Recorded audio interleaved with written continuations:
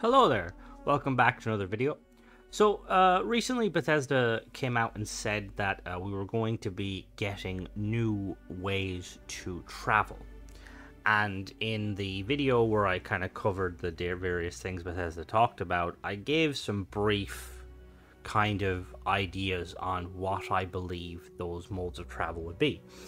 So I decided, you know, I've been talking about it on, on some of my streams, which if you uh, haven't seen any of my streams, I stream Friday um, around 7.30 uh, GMT, so like Irish time. Um, that's like usually around like 12 to like 2, depending where you are in America, and then in Australia and places like that, it's like quite late. It's like this. Anyway, so yeah, so I've been been discussing it with uh, some of the some of my uh, subscribers. We've been kind of chatting about and I, I thought I'd just do like a video, kind of because there's probably people who play this game that don't um, have as much uh, not not knowledge necessarily, but they don't kind of let's say play as much of previous Bethesda titles, so they might not know which way Bethesda go with certain things. So yeah, so we're gonna cover that today. As you can see, uh, we have we have moved. We are in the new house. Uh, got the office up, nice, you know, nice and fancy. Anyway, so let's get into it. So we know that uh, Bethesda have said in their most recent update uh, on their website that they're going to be adding new ways to travel.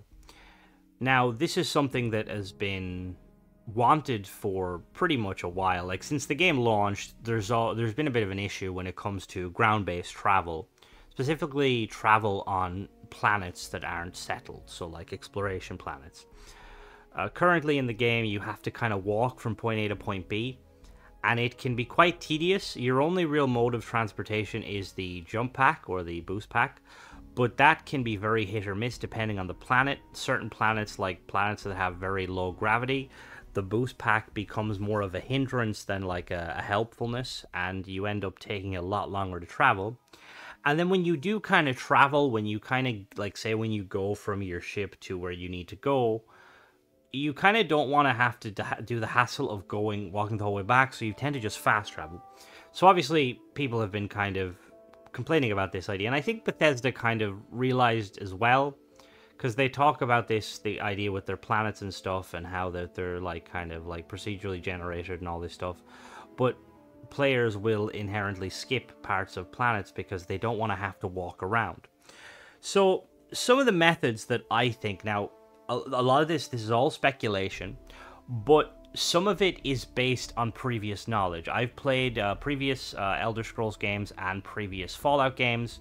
I'm familiar with the engine uh, Bethesda operates on. It's similar engine to Skyrim and Fallout and stuff like that. And I'm also familiar with the kind of the the certain mechanics Bethesda tend to lean into versus ones they tend to stay away from. So that's when some of the ones we're going to be discussing, we're going to be kind of talking about those sort of uh, mechanics that. And the first one, which is kind of the, the, the more plausible option or the most plausible option, is to have a system similar to the horse mechanic from Skyrim and Oblivion. So if you played Skyrim and Oblivion, horses are quite simple in nature. They're they're the quadrupedal creatures that they're basically just like they function similar to the player. They they are slightly higher up, so they sit slightly higher up, and they move at a faster pace. And combat on them was not really a thing you could do up until one of Skyrim's updates. But in terms of like implementing it, it's quite a simple system. There's not like a lot of uh, there's not a lot of um, what would you say? There's not a lot of um, trickiness to it. The horses don't operate they're not as intelligent as they would be in in say red dead redemption or red dead redemption 2 they're very much like you can if you played skyrim you know you can accidentally walk them off a cliff. Now how they would implement this into um into this game into starfield it, there's a couple of options i was like thinking so one of the options is they could go the route of adding a robotic or kind of mechanized equivalent of a horse. So I'm going to put up some some pictures of some like various different kind of um, there's a couple. There's one in particular that you kind of see uh, around the docks and some of the more construction heavy areas of planets. And it's basically this kind of mechanized loader. And it has like four little limbs that are either tracked or sometimes it just kind of, there's variants where it's not tracked and while it's this vehicle itself or this object, it's just a static object that's used to kind of like enhance the environment and kind of set the scene. It's something that I could see Bethesda kind of like using and uh, modifying to be a kind of a like a custom like a, a vehicle. Uh, considering that in the game there's so we we currently have like a load of different cargo bays and stuff and it wouldn't be too difficult for Bethesda to add an extra habitat or like a, a module that would allow you to dock said um said uh like kind of like the the we'll call it like a loader almost and like it wouldn't be too hard because it would it would function pretty much similar to a horse in in its movement and its mobility. You know it kind of would be the same height same kind of stuff like that. It'd be very simple to do. And they could also add levels of customization. So one of the things that um that um kind of was a was a nice little feature that um Skyrim had. Although some of them, it was I don't know if it was the Creation Club, but I know that you could you could modify your horses by like you could obviously there was like different armors and stuff. Now some of that was down to mods, but there was I believe the Creation Club added some. So you could do a similar thing with these sort of like mechanized little kind of we'll call them mech horses almost is you could give the player the ability to modify them to their own likeness. They could add potentially add weaponry on it. Uh, when it comes to weaponry, uh, we have the turrets in game already that act as you know like weaponry, and it, it wouldn't be too hard to kind of model them almost uh, if you kind of was to use something similar to how the the dogs actually function in game. There's like mechanized dogs, which I'll try and stick up a picture of just so you can kind of see them. Um, but you could definitely have like different types of weapons on it. Uh, it they I would assume if they were going that route, the weapons it'd be easiest to uh, implement them um, as a kind of an automated weapon, similar to the turreted weapons on ships. Now you could also other customizations. You could, I would assume, given that you know with how the shipbuilder is, you could kind of uh, add extra storage capacity, maybe increase the speed by lightening your your load, color schemes that's so that's that's obviously one way they could implement the horse uh, mechanics. Now, another way they could implement the horse mechanics would be a kind of a, a trickier one to do. Would be to make use of the various mounts or alien creatures in the game as mounts. Now, this is something No Man's Sky has done. If you've played No Man's Sky, and it's I will admit it is a very cool feature, but it's something that would be quite tricky to do because they could either go about adding alien mounts one of two ways. They could have certain, they could add a vendor or multiple vendors on planets, different planets, that sell very specific uh, mounts. Like, so, like, like, like, let's say, for instance, there could, you could go to Akila and they could have, like, um, like you know like some sort of like a horse based mount like i know the at the ashta are pretty big and bulky but you could potentially you could like modify them you know so they could go that route of like instead of having to worry about the the other alternative, which we'll get to in a minute, instead, but instead of having to worry about like uh, setting like um, designing um, nav meshing and um, physics and like just everything when it comes to all of the different alien mounts, you could keep it simple. They could have like four or five different ones, different types you could have like a cool kind of like frontier style, like maybe like a kind of a, a horse-like creature, maybe like a six-legged horse-like creature, something similar to like the Avatar. You could have like spider-like creature. You know, you could definitely play into the kind of the the the Starfield, the different alien creatures, while also you know being quite simple in nature because they would be only be focusing on a smaller amount. Now you could obviously go the other route, which is how No Man's Sky tends to do it. Instead of having vendors selling like a small specific uh, like set of creatures that you can ride, you could just basically tame and ride all of the various creatures in game. I'm going to put up some screenshots of some of the creatures. Now, this method would be a lot harder to implement because I'm not aware of how many creatures Bethesda have in the game. I don't know if they're procedurally generated like with um with No Man's Sky. I don't think they are because there's I feel like there's a lot of overlap with some of the creatures, but they would have to be more aware of like certain creatures. Like obviously you wouldn't be able to like ride flying creatures or like some of the creatures like for instance there's like little insectoid creatures that don't look like they'd be able to support a player's weight. But there's definitely quite a lot of creatures out there that you could ride potentially. And yeah, it like it it out of the other method, like I was saying, of having like kind of a predetermined vendor that sells pre like pre broken in horses or like not horses, but you know what I mean.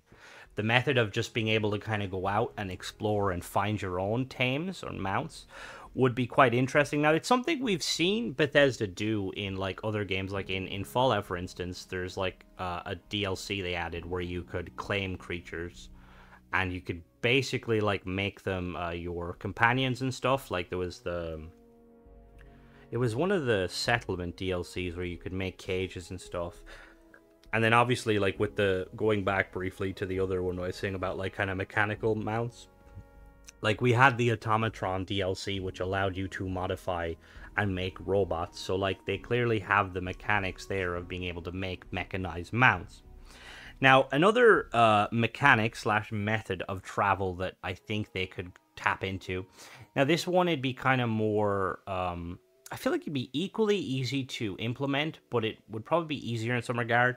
So if you played uh, Fallout 4 uh, or you played Skyrim, towards the end of those games in the Skyrim DLC, uh, Solstheim Dragonborn, or depending on the faction you choose to kind of complete the quest within Fallout, uh, you gain the option to have a vertibird and or like a dragon, and they operate basically the same.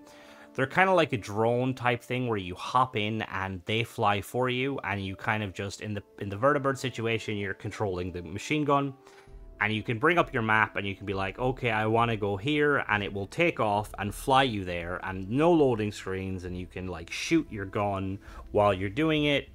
Uh, Skyrim's version with the dragon is a little bit more. Uh, there's a little bit more to it because there's more like commands with the dragon. Like obviously with the dragon, you can choose to it like target and attack specific creatures. And you can also set the dragon to kind of land whenever and take off whenever. The vertibird is a little, little bit more finicky. It's meant to be kind of like more of a transport, less of a kind of a gunship. But both of those like use the same method of basically having like a kind of a like almost like a like a on rail system. And it it gives players the the kind of the, the freedom to travel without kind of while still being kind of limited so they could go this route by basically having like some sort of like smaller, like kind of like shuttles or like transport vessels, like quite small. Um, like let's say either they allow us to make uh, like said shuttles or like said transports, which would be quite interesting. I've said this before. If they did go that route, like say like making like little scout craft and stuff, they would have to either be uh, pre-built, like so each manufacturer would sell them. So HopeTech would sell a variant, Stroud Eklund would sell a variant, Taiyo would sell a variant, Nova Galactic might have had a variant in the past, uh, Deimos have a variant, and that would be kind of a simple option. You wouldn't be able to build it or customize it too heavily. Maybe you'd be able to customize a little bit, like the color scheme and like potentially the weapons, but like quite limited and then it could attach to your ship and be kind of used as like a little kind of a like a drop ship type thing or a shuttle. Kind of think if you ever played mass effect think of it like kind of like being like like the um the hammerhead or the the mako. Uh, or the not the mako the um oh what is it called? It's like they call it the the, the marines in mass effect call it the cockroach. It's like a kind of a transport shuttle but basically you use it as your main transport when you're not when you can't land the normandy so like that would be a method they could definitely go with. Now they could also, which would be kind of um it would be more plausible and we know that it's already in the game, but they could use this method of being able to kind of like have some sort of a an automated like a uh, travel system and it could make use of your ship. So in certain missions or if you just randomly get unlucky and you try to board a ship, Ships can and will take off and break into orbit with you on them without you flying if you like try and steal the ship. So it's it's something they could definitely do. Like when you land the ship on the planet, there could be an option where you can hop in like the pilot seat, or even to make use of the navigator console that is seen everywhere uh, on a lot of the modules and habitats. Is you could literally click on your ship. Let's say you're not in the pilot seat, you click on your little hollow map, and then you're like, okay, we landed here on Alpha Centauri on this random outpost on the south, uh, let's say the South Pole. I want to head up to the North Pole to another biome. You could just enter exactly where you want to go, click there. You kicks you out of the menu. Ship takes off, travels to that point. You can walk around your ship while it's happening, but you obviously can't control your vessel. You're just kind of in it for the ride, which would be again, it'd be quite similar to how the uh, Vertibird worked. And I think this would be kind of like this would be quite cool, like from a from a um, from a role play point of view, like from a not a role play, from a what is the word? Um, I can't think of the word immersion. From an immersion point of view, because you could kind of walk around and see your ship in action. You like you could make more use of the windows because windows are something that are very cool in the game. But aside from when you're just parked in space looking out, which even when you're doing that, it's kind of pretty limited. The ability to just basically let your your uh, craft go from point A to point B while you walk around and do menial things on your ship would be very very cool. Now another another method that uh, I was thinking about, and a lot of these, like I was saying, a lot of these we were kind of we were when I was when doing a couple of my streams, we were spitballing at me and a couple of the lads in chat and the lassies in chat.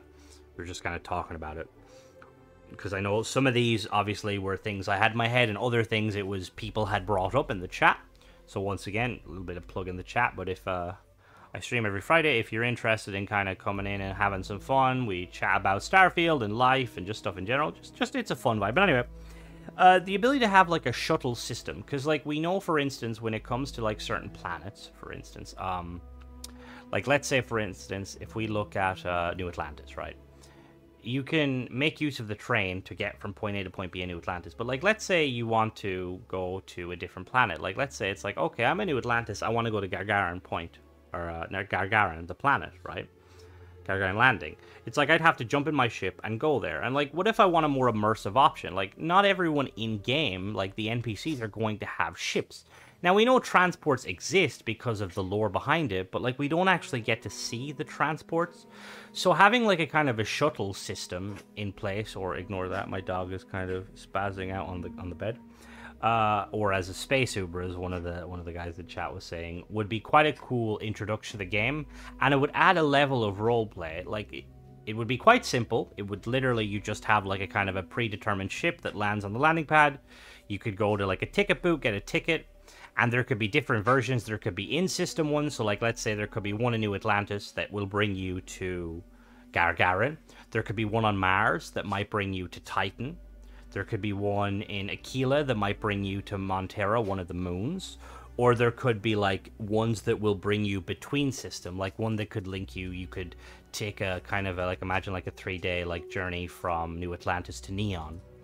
And again, it could make use of the mechanics of like let's say for instance like you know you you board the ship you get to your like assigned quarters depending on if it's if it's a longer journey the ships might have like like cabins or something like you could make use of that or if it was shorter journeys there might just be like seating. And then it would take off and you could see it take off and they the way they could kind of implement this this would be it'd be kind of tricky but it wouldn't be too hard to allow like like give us the ability to kind of tweak this. Like some people might enjoy uh, watching the ship take off and making the grav jump and like all of this. Some people might not. Some people might just like it from getting you to point A to point B, loading screen. Now, some people might not like it. Some people might be cool that you could basically like you could have in the settings option. You could choose like you know like how immersive the travel would be. Like you could have full immersion where like the ship will take off there's minimal loading screens. It will basically gra- take off, hit orbit. Once it gets clear of the planet, grav jump, get scanned, land on the planet. There could be like semi immersive where it takes off, and then once it takes off, loading screen, and then there's just a landing, and then like zero immersiveness where it literally you just sit in your seat and it just instant loading screen. You're back in your seat, but you're on the other planet. Now, a system like this would be quite cool, and it be wouldn't be too tricky to do because we already have the kind of if you look at any of the major ports in the city like even paradiso there's multiple landing pads and a lot of the time those landing pads are in use like it'd be very cool if there was just like a shuttle just sat there. Now this would also open up the uh, the the ability to because we in the game we have the ability to transport people from point to point. But the fact that if you look at it from a lore point of view the fact that a lot of these people are relying on kind of like freelance like like basically you're relying on a random person to pilot you from point A to point B. Adding a kind of a shuttle system or a transport system dedicated would open up another avenue of making money. Instead of picking up these like missions on the bounty board you could have an actual uh, like a dedicated structure or like a, a, company. Like imagine you could have like a kind of a we have Trident and Trident are known for the stuff but like imagine you could have a long range luxury transport company you could sign up with you could ferry people from point a to point b they might like to think elite dangerous with the transport where they might like to go places. Some of them might be like, oh, I want to go see the, the orbit of Nera, you know, see what happened in the Colony Wars. Some people might be like, oh, I want to go like see a star. And then you could have more kind of like clandestine travel where it's just point A to point B. It's like, okay, you're going to take these people from from New Atlantis and deliver them to uh, Cydonia. And again, not only would it be adding new ways to travel, it would also be adding more kind of lore to the game, more ways to earn money, which would be very, very cool. So yeah, that's that's pretty much it in terms of like ideas of how I believe Bethesda could incorporate the travel system. Uh, I hope you guys enjoyed this video. Um, I'll be doing more of these kind of like as we kind of get more information about what could be coming in the game, what's coming. I'll be like kind of picking it apart and giving my opinion on like what I think could be coming. So yeah, let me know what you guys think of the various methods and which ones would you guys think is the most plausible. And then like like I said uh, in the previous video, which what would you like to see if you could kind of see any sort of mode of transport at all, even something that you think Bethesda wouldn't be able to do? What would you like to see? yeah, as always, guys, thanks for watching. Don't forget to subscribe if you like this sort of content, and uh, check out some of my other videos. Uh, bye bye.